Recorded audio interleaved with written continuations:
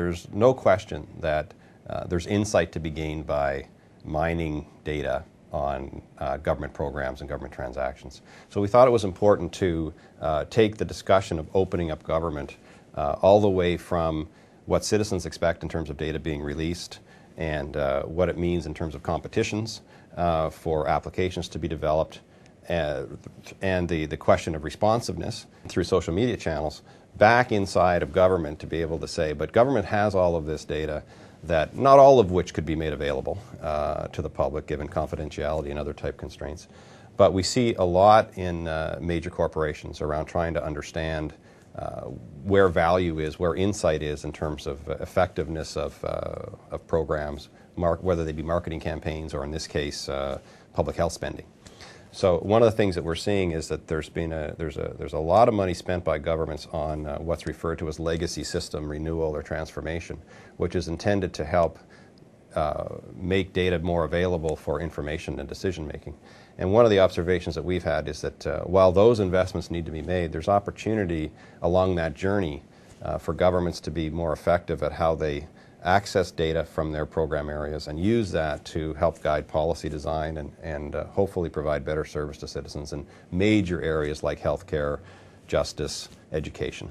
Right. Well, we're seeing in the in the private sector in different industries essentially we're seeing companies and organizations who are able to rise to the top of their industries because of how well they use their data, how the data analytics. Uh, the Oakland Athletics, of course, in, in, in baseball, were, were mm-hmm. famous for this. And now, you know, whether it's football, basketball, many other uh, um, sports have followed that kind of model of looking at data analytics. In the entertainment industry, Harrah's out of uh, out of Vegas is famous for its its use of data, and you go on and on. And right now, in the public policy world, you know, increasingly people are saying that ideology or what your beliefs are, philosophy, that's not enough. We, we want evidence based public policy. We want to look at the data, understand what the data is.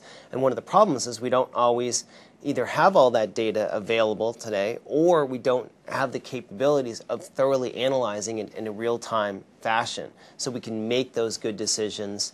Uh, from an evidence based. And so I think it's going to be very, very important, not only operationally, but the data analytics is going to be important for making government smarter in terms of developing public policy and policy from an evidence based as opposed to simply from an ideology based approach. Yeah, and the, the challenge of, uh, I think one of the implications of opening up data to citizens is that uh, they will be able to work through, citizens or business or, or not for profits, will be able to look at, look at government programs across a number of dimensions uh, to be able to, to make recommendations, to, to challenge, to critique, to make suggestions of, of governments in terms of program areas. And I think that will increasingly have governments asking themselves not only can we leverage that uh, right. uh, resource, but we need to get better at understanding uh, what the cross program implications are of things right. that we do. Yeah, I, I mean, I think that the where this can go is just really limitless. We've already seen in the crime area, essentially, that's where probably we've had the most sophisticated use of data to improve government. In some cities, we've seen 50% or more reductions in crime through the use of the CompStat kind of model, which was developed in New York City, which is all about understanding in a very, very detailed way where the crime is occurring on a daily basis, deploying more police officers there, and deploying different kind of techniques to address those individual aspects of crime.